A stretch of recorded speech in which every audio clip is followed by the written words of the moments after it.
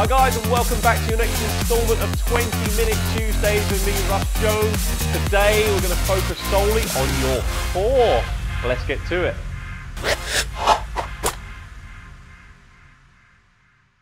So our first exercise will be on our back. Get nice and comfy. Going to be working the focus more on the lower abs. I'm going to go up with one, up with two, and then three, two, one. We're off. Gently lower and raise. Exhale at the top. Lower and raise. Now I'm focused a little bit when we did those pelvic tilts and we had the contraction, trying to push the lower back into the floor. Those are the muscles I'm trying to maintain contraction in right now. So this area just stays still while I move from the hip. Now if your heel doesn't touch the floor, that's not the end of the world. If you're a little bit tight in the hip or your core feels like it just won't allow that range, then don't force it. Seven, six, five, four, three, two, one, and then we rest. Next exercise, I'm going to take my arms out wide a little bit like the open book exercise, I'm going to have my legs up and they're going to be doing the movement. So my lower half will be rotating while my upper half and my shoulders try and maintain contact with the floor. So leg up, leg up, feet crossed, soft knees, three, two, one, legs gently rotate. Pause, return to the top, exhale, go the other way. Rotate, pause, Come to the top. Exhale. Rotate. Keep pushing the arms into the floor to maintain control of the exercise.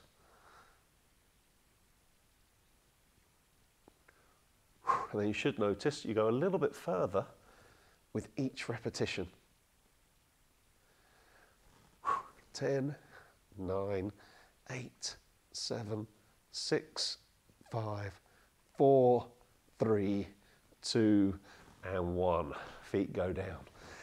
Right, now we're going to do an exercise called the Turkish get up, where you'd normally hold a weight aloft and go from lying to standing. We're only going to do the first portion where we do a diagonal crunch. So I've got my left leg straight, I've got my right leg bent, and I've got my right arm aloft.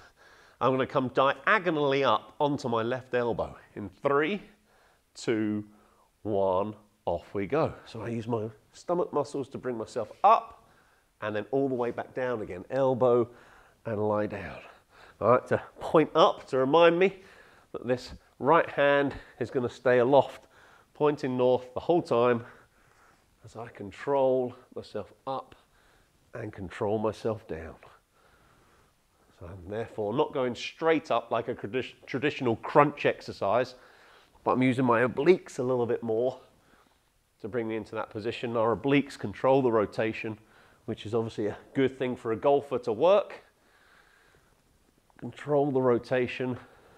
And core exercise is good for the health of the lower back, but also good for keeping us in position when we're lifting weights. Three, two, one, and back down. So now I just simply do the other side. Now you can progress to doing this holding a weight. So on the second round, just even if we hold our water bottle, you'll notice a bit of a difference. But for this first round, I just want you to practice the movement. So now my right leg is flat, my left leg stays flexed, my left side is up. So both sides on the same side should be up to begin with. Three, two, one, onto my elbow, up onto my hand, and then gently back down again. Up and back down. And you might notice, as we always do with left versus right, one leg, one arm exercises, one side feels slightly weaker than the other. That's okay. Sport and life tends to be fairly asymmetrical, so we get these subtle differences in strength on one side of the body, but it's our job in the gym to try and keep ourselves as neutral as possible for the health of the skeletal system. Three, two, one, and then relax. Next, we go for a good old static standard plank. Now, I like starting kneeling just because I feel like I get myself in a better position with my spine And then when I'm ready, I'm gonna lift those knees off to more of a traditional toe to elbow plank. So I'll come at this angle for you here. So I lie flat, forearms pointing forwards, knees down, lift, and then three, two, one. We lift the hips like so. And then control the breathing. So I might not talk as much on this one. Breathe in. When I breathe in, I'm creating that pressure through the core and through the stomach. Stay strong on that inhale. Head position as well. You should be looking straight down with a nice neutral neck. So I feel like I'm tucking my chin in towards my, my throat, like so, and that lengthens the top of my neck. We've got three, two, one, and then down. So whereas the other core exercises we've done today have been involving more movement, that's why I wanted a nice static one. So we always work in rotation and then anti-rotation type exercises. Lastly, the bit everyone forgets when they think core, because we always think about our six pack and our stomach in the mirror, is everything behind us. So we're going to do a skydive. Always nice to balance out what we've done on the front. So arms down by your side. Three, two, one. I'm going to lift. Take my arms out a fraction and now rotate the palms like so. So I feel like I'm going thumbs up. So I've got my arms at around 45 degrees. And again, big deep breaths. Inhale, fill the body with pressure. And then as I exhale, I lower down slightly. Inhale, fill the body with pressure. And slowly exhale. Just repeat. Get nice and high on that inhale as the body gets stronger. We're stronger when we inhale. That's why stretching, we should exhale and relax. Three, two, one, and ease off there. Right, you got a 15 second warning. Grab yourself a little drink, and then we'll do all of those exercises where I'll show you how we can make it a fraction more difficult.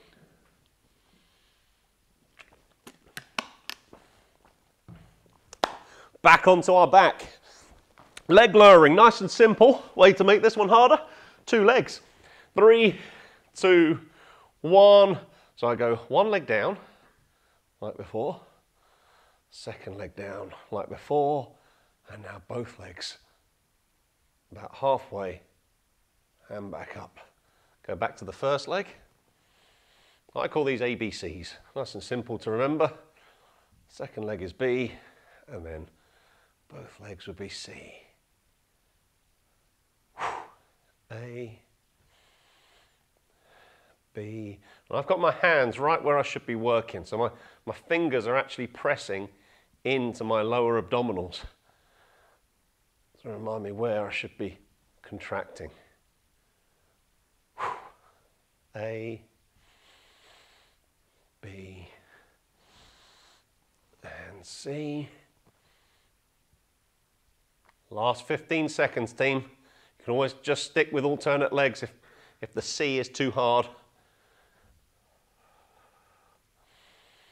Suppose it depends on the length or the weight of your legs. Three, two, one, and rest.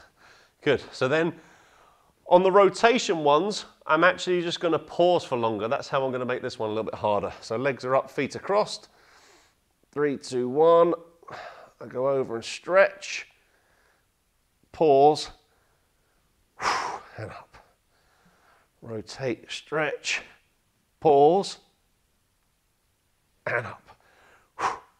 See if I can pause for three seconds on this one. Three, two, one. And then three seconds this side.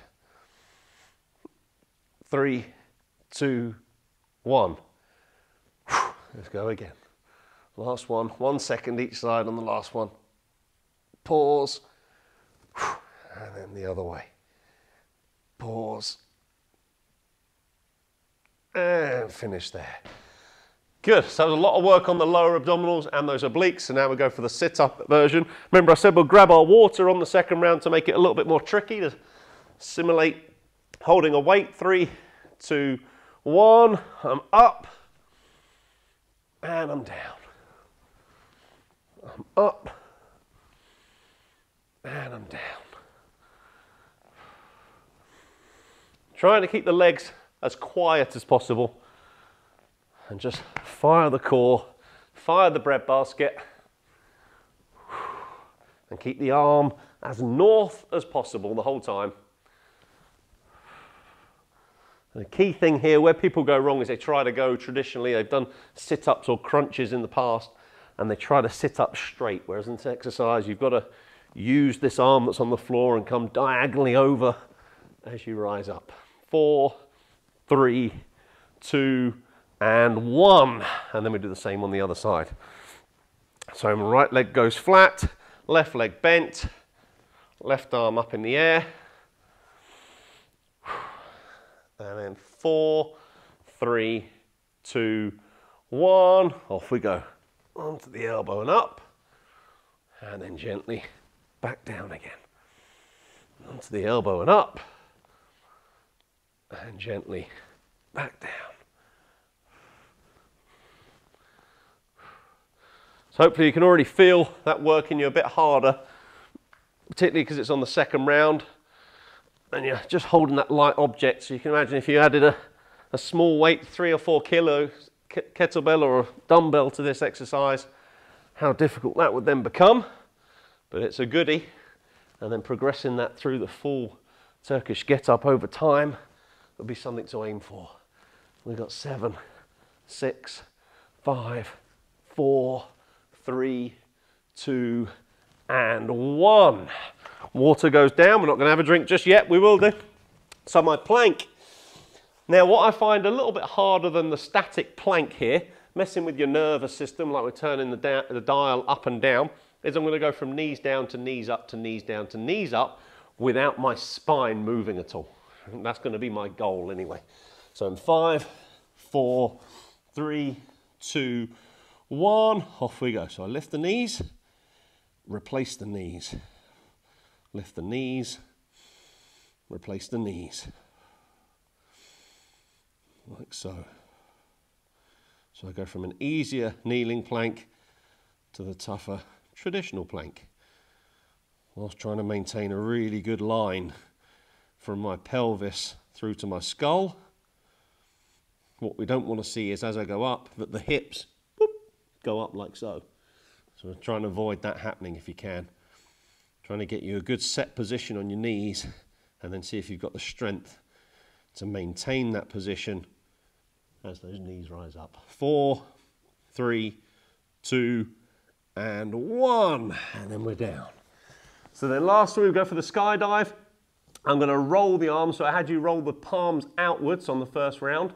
Let's see if I can rotate the arms the entire time I'm in that skydive. So I come down, arms down by my side, bring them out to 45 degrees, palms down. Three, two, one, lift, rotate palms away, rotate palms up, palms away, palms up.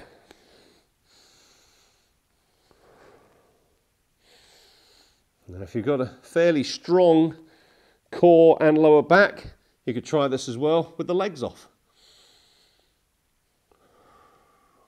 Takes a little bit more glute. You might feel the hamstrings working a bit on that one. As always, you try and progress something it feels too stressful, go back down to feet on the floor if you want to. Last 10, 9, 8, 7, 6, 5, four, three, two, and one. Let's go back to a nice low back position to finish that one off. And then that's your core through two rounds.